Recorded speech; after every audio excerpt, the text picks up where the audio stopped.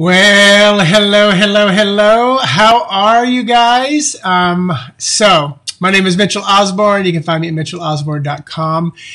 And this is um, a live, um, just an energy update. I've been doing a little bit more of these um, since, um, you know, I'm kind of working remotely. My responsibilities are just a little bit all over the place from my, my, my day job, my full time career in fitness. But uh, so yeah, so you might be watching this in the archive on my YouTube channel or later on Facebook. But right now, hey Linda, right now I am live. It is 1021 Eastern Daylight Savings Time or Eastern Standard Time, Orlando, Florida time, um, on f- April the 1st, 2020 and I do not do April Fool's jokes at all um, because I I'm the kind of person that when you do one, I don't just, if you do one here, I don't just go here. I go all the way as high as I can so it will stop. And um, I did a really bad one on my mom a gazillion of years ago. And from that day forward, I don't do them. I don't do them. Um, anyway, so I am just going to give a little bit of an energy update and kind of talk about why I'm doing that. So let me, first of all, I want to share this. If you want to share this on your page, wonderful. I'm going to share it as well to my page. Um, and I think, let's see, watch party together with friends. So I think we can start a watch party, or I guess so. Um, we'll figure out. So my watch party has begun, I guess. Um, so hey everybody, once again, Mitchell Osborn here. You can find me at mitchellosborn.com. I'm a psychic and medium, and I use those abilities, um, reading tarot cards, connecting with those crossed over. I do animal communication. I also do a lot of mindfulness meditation coaching, which involves eye movement therapy, EMT, NLP, neurolinguistic programming, EFT, tapping, um, as well as hypnosis and hypnotherapy. But um, I, I, have a cool story. So a friend of mine, um, friend and client, she messaged me yesterday and she's like, um, "Hey, Mary," and she was like, uh, she said something about you know what why didn't a lot of like psychic and mediums you know see this coming? And and i said first of all i, I don't know that they didn't. Um, and she's like she's like did i see it coming? And i and i didn't. And my response was that i typically work in like the here and now with clients. What's going on today? What's going on tomorrow? Um, what can you you know what can you do in the immediate moment. That's just kind of always been my thing. There years ago, I, I did a, a, little bit of venturing out and you know, you know, predicting you know like royal weddings or babies or things and stuff like that. And part of it is because of the prediction aspect of it. Because I believe, you know, I, I'm not a big fan of predicting in the sense of especially bigger global things. And even if I do predict with a client, a lot of times I say, if you like that, hold on to that. But there actually could be something better. If you don't like that, you know, you can change it. You're in charge of your past. So, so putting things into speaking them into existence, sometimes we're missing something even greater and better. Um, but uh, we certainly could have seen the potential of what's going on right now. And what's going on right now with, you know, coronavirus, COVID-19, you know, it has the potential of going really big and crazy or curtailing, just depends on, you know, where we go as a society. But so this friend messaged me and then a couple hours later, I was watching Lee Harris's um, updated video and I kind of shared that and I was like, oh man, I'm supposed to, I'm supposed to be doing this. And one of my, one of my kind of guides that I work with, it's the first time I ever felt her, and she shows herself as a feminine. Her, she's always been very stoic and angelic and straightforward, like a, you know, like a school teacher. She got excited. And I was like, oh man, am I supposed to be doing a little bit more of this? So I do feel and have felt I was called to be a little bit more of that. And, you know, and I, and I do realize people, cause I just had somebody else ask me, you know, so what do you think about all this? And I'm like, you know what? Let me do a video because I've already done a few and talked about it. But here's what and as I was walking around the lake, I literally wrote down all of this stuff. So I receive information usually when I'm listening to other people's things and they'll say one keyword, like I was listening to Lee Harris's and he said something about, you know, when you get stressed, do whatever, take a breath. And, you know, as a mindfulness coach, I get what he's saying, but I was like, what? What is it about the breath? And I'll, I'll talk about that just a moment. But I wrote down like day, week, month, year, decade. Hey, Ruth. So day, week, month, year, decade. And I love structure as a, as a water person. You know, I've talked about this the other day. We water people, we like our structures because it holds us in place. and I'm a pretty water, you know, and we like the path that we continue on. So there's more information about that. So, so here's what through connection with my guides, um, and uh, I'm not going to talk about them individually. It's more of a group right now, but there are 12, and it's like 12 at a table, and I actually hold one of those places. So I'm number nine. I don't. It's go. I'll have to explain that one day if, if I continue down this road. So one of the big messages, hey, Kimberly, one of the big messages that they were saying to me is savor things. So right now, and I've noticed this a lot in myself, you know, while you're on lockdown, while you're working from home, whatever your situation is, really savor the things that you can. Um, if you notice yourself not not rushing, like this morning, you know, a lot of times, um, Yes, Kimberly. she's a cancer, so she's a water sign as well. So this morning in here, and I love to tell stories to teach the lesson. So this morning I was getting ready and I was, like I started putting my shoes on and tying my laces up to go walk around my lake. And normally I'm doing it, you know, and I've got things to do and I'm like, I'm in a hurry. And I started like tying my shoes and I took a breath and I went, wait a minute. I really don't have a schedule today. I've got some things to do and they're not like on a time frame. So I took a breath and I just savored tying my shoes.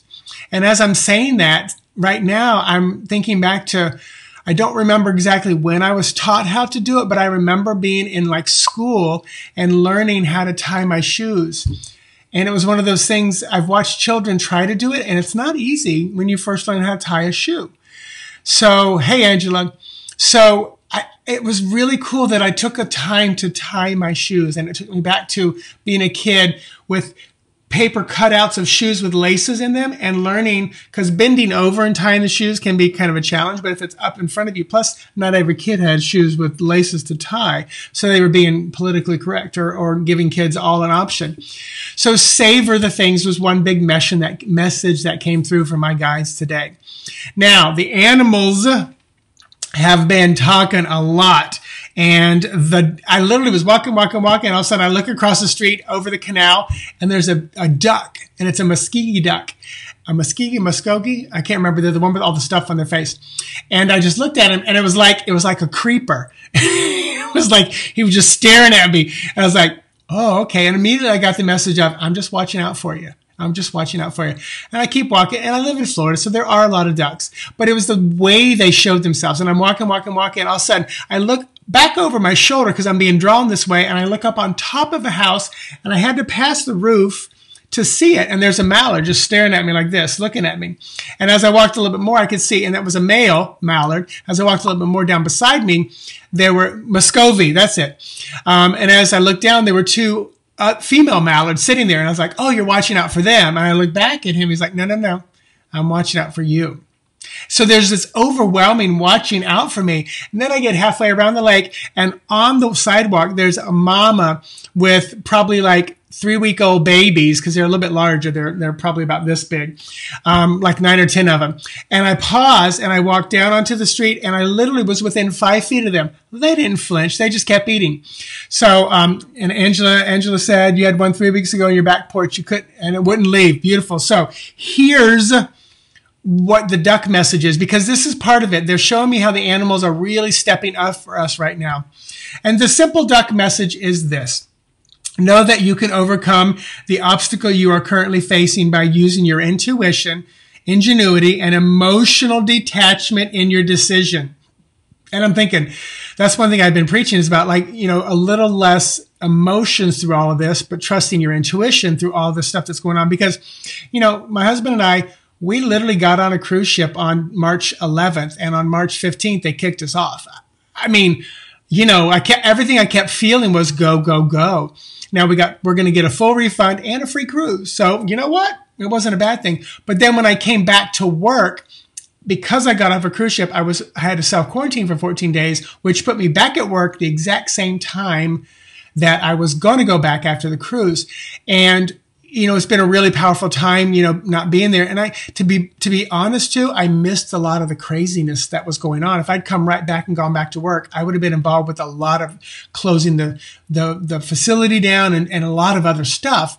You know, not that I missed it, but I've always felt like when I there have been a few times I've gone on vacation and missed some powerful changes. People are always like, "Don't go on vacation because something's going to happen here."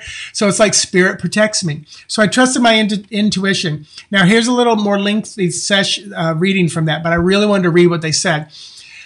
In this case, duck symbolism is reminding you to take notice of your surroundings because there is a new opportunity available to you. Moreover, this bird also is letting you know that to succeed, you'll have to move forward swiftly.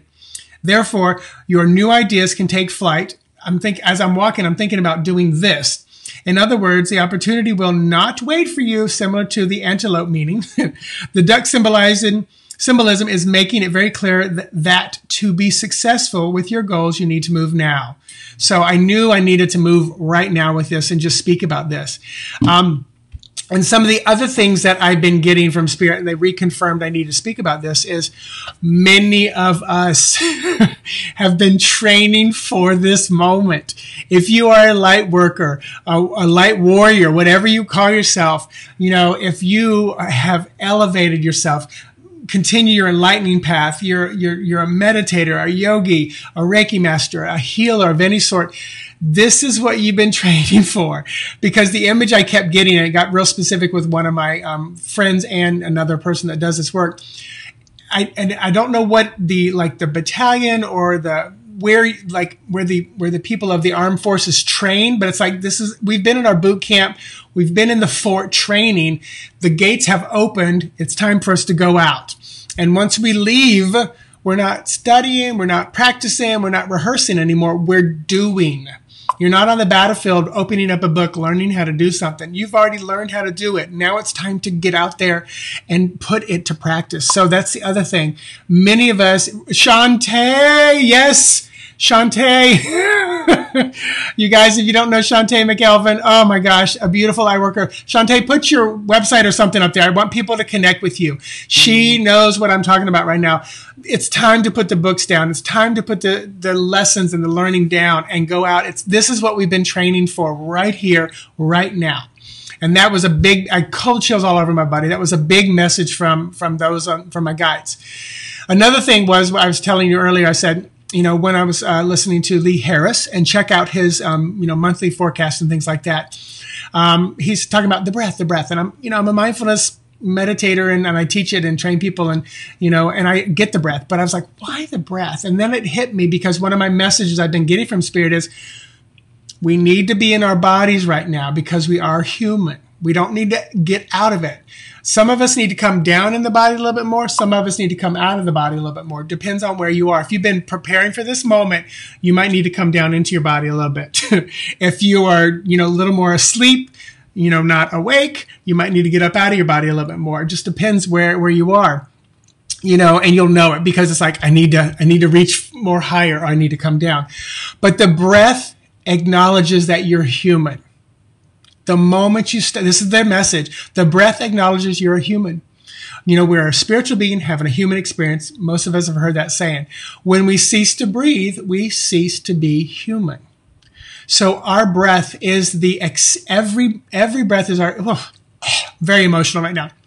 Every breath is our acceptance, our reconfirmation, our restating and manifesting that we are in human form right now. And this is something that we thank you, Shantae. Yes, definitely check her her her stuff out. Um, and I'm pronouncing it right, aren't I, Shantae? Or is it Shanto? I'm looking at it now thinking, am, am I pronouncing it right? I'm up in my head. but every breath is that acceptance that we're human, that acknowledging that we're human, you know, that, that recommitment that we're going to stay in this body, in this form, in this form and continue moving. So another person wrote me, and these are all messages from my guides, because as I'm going through it, preparing for this, they're just saying, here's all the information we want you to share. Um, somebody wrote, uh, I think it was in one of my lives the other day, they said, I feel like I'm being forced to be mindful without actually practicing. And I was like, oh, that's beautiful. And Spirit reminded me of that. Many of us, we are put into mindfulness situations and almost being forced to be mindful without having to turn the phone off, dim the lights, get quiet, get by ourselves because that's kind of where a lot of us are right now. We're by ourselves or we're in that quiet space at home, you know, socially distancing ourselves, you know, and so we're, it's almost like it's a forced mindfulness. Now you cannot do that because I will find myself with my coffee, chilling out, reading, looking out the window, just being like nervously wanting to grab my phone and look at stuff. And that's those old patterns that I, you know, I will put my phone face down. It's always on silent. I just don't have the buzzer on which is just something I've chosen to. So now I did, like I said, I don't know if, I don't know, my spirit told me this, my team told me this, but day, week, month, year, decade. And, I, and they said, be flexible, Mitchell. Don't feel like you have to, don't feel like you always have to have a day, a week, a month, a year, and a decade message. But here's what I got for the day. Day, meaning like, what do you do today? create as much normalcy as you can, but allow for those small changes to take place. Allow for new patterns to emerge and, and happen. And this is, uh, when I was listening to Lee's, this is what the message came through. Something he was saying, really recognize it. Um, this is the ancient practice vision quest. Oh, beautiful. Um, so yes. So notice the patterns because right now, create as much normalcy as you can. By that, I mean like, I wake up, I bring my coffee to my husband. I go meditate. I do exercise. I come to my computer. I check some emails. I have lunch. I maybe have my, my usually afternoon coffee time. Um, maybe I'm taking a nap if I feel like it. Uh, my husband comes home. We have dinner. We watch TV. You know, so it's like that. That's kind of normal. Now, what my normal day is filled with a lot more work and stuff like that. But create that normalcy. But I'm noticing the patterns that are shifting like like putting my phone down um, like not wanting I, I, take a book with me when i go sit but it's like i don't want to read i'm listening to more podcasts i'm listening to more videos like lee harris and stuff like that which is not my normal thing um, you know, I like to read more than anything else. I like the words. So I'm noticing the small patterns and changes and shifts that are happening because they might become the new normal. And this is for people who like gentle changes. so um, I didn't have a week, like what to do for the week. We'll see. Now for the month, this was very clear. Find your grounding. Find your grounding for this month. This is April. This is four month in a four year. Four is, is all about grounding. It's practical. Um, it's formation. I'm, I'm going to pull up so I can get the exact number, number, bounding, grounding, uh, building, formation, hard work, endurance, serious practicalness. That's what the number four is. So it's a four month and a four year. So it, the entire year carries that, but this month carries it exceptionally well. It's like double, double the grounding, double the formation, double the hard work, double the seriousness, practicality. Um, you know, so, so really utilize that with whatever you're doing in your life. Um, you know, so find that grounding, find your four corners, your four pillars. And then for the year, this was very clear to prepare for 2015. And I love that. I love alliteration, and Spirit often drops alliteration in my head. Flow, fluidity, and flexibility. So find your flow, be fluid, allow that flexibility. And this is, this is for this year you're preparing you for 2015 because that's a five year and five is literally change transition progressive thinking resourceful freedom versatility promotion so next year is going to be this pinnacle through the numerology where things are going to all shift and change and and i don't think I don't think it's going to be as bad as this year. In other words, what we're going through right now, but it will definitely be a time of change then. So start to practice more going with the flow. Start to practice being more fluid. And right now we're being forced to do that. We're being forced to be flexible. So when this time is over and we get to go back to what life might be like again, normal, continue practicing the flow, the fluidity. You know, if all of a sudden you're back to normal, you're back to your job and they're like, Hey, we want you to work from home for a while. That was so cool before. And you're like, no, I don't want to like go, okay, you know what? Let me try it again. Find the flow, the flexibility. Now, this was interesting for the decade, for the decade, meaning 2020 to 2030, reach out and hold hands. I, I don't know what else to say about that because that was the image. For me to interpret that is like make the connection, support each other, hold each other. don't be afraid to hold someone's hand physically and energetically and i feel like that is for this entire decade from 2020 to 2030 um, so don't be afraid to reach out and hold people's hands energetically mm-hmm. physically um, embrace that connection um, and again it could be because lee in one of his posts i didn't hear it but somebody echoed it to me that for the next 10 years we're going to see this kind of energy. We saw the fires in Australia. You know, now we're seeing this pandemic globally. You know, who knows? You know, one of my friends, I hate to put things out there, but she said, I could see something like a giant solar flare that blows and shuts down all global internet, or as it rotates, it shuts down when it's closest to the sun. Something crazy like that, which would be mm-hmm. extremely wild, you know, but again, it's going with the flow, you know, being flexible, um, you know, understanding that letting new patterns emerge. And don't be afraid to reach out and hold each other's hands because there may be moments where we're going to have to literally help each other down the road kind of a thing, um, energetically and literally. So, so that's pretty much all I had for now. I just wanted this to be kind of short and sweet. It's about 21 minutes, so that's not too bad. But uh, you guys, thanks for watching. Thanks for sharing. Thanks for retweeting. Um, thanks for posting what makes sense to you, you know, what resonates with you by you, you know, connecting and, and letting know what's been happening with you and resonating is going to add, um, you know, strength, especially to the positiveness of this.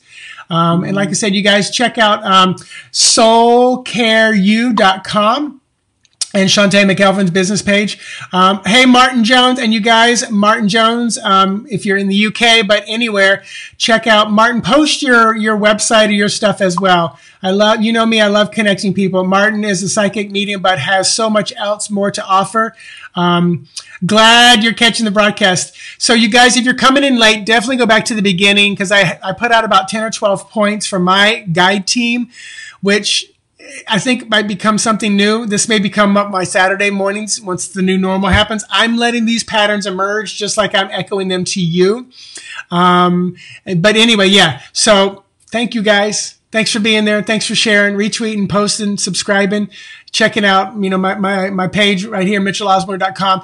Right now, through the end of this month, at least for now, um, I've got 20 plus spreads that I'm doing 20% off. They're tarot spreads that I deliver back in a YouTube video.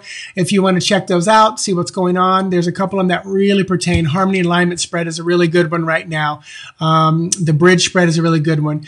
So yeah. So again, I've been, usually I say namaste, but now I'm saying namaste, healthy and safe. Until we chat again. Bye, you guys.